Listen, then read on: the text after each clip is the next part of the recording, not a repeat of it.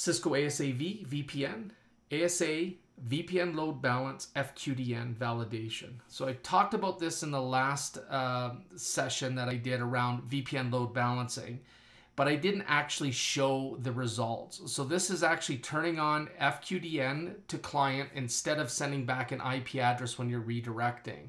The key element here is that you need to have a reverse lookup zone in order for this to work.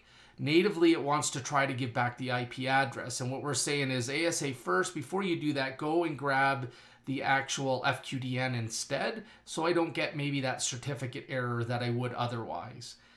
So all you have to do is check that box. Again, I've already showcased that in the other video. What I want to do is just highlight that the function is actually working and we're not getting the IP, we're actually getting the uh, domain name or FQDN passed back. So this is the VIP that we're connecting to here.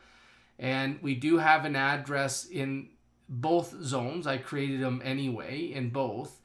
Um, so you can see there's that 190 and that's the uh, main VIP IP. And then when you hit that, it'll automatically redirect. And here, there you go. That's the FQDN.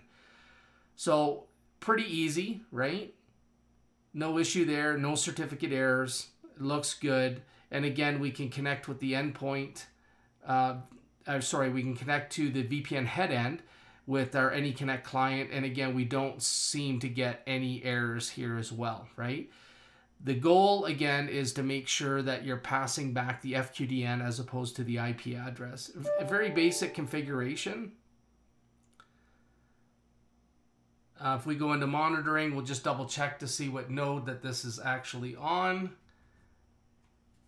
we come in here, we can see that it's actually, we are load balancing. We have one connection and very quickly we can see that sales one is connected to this node.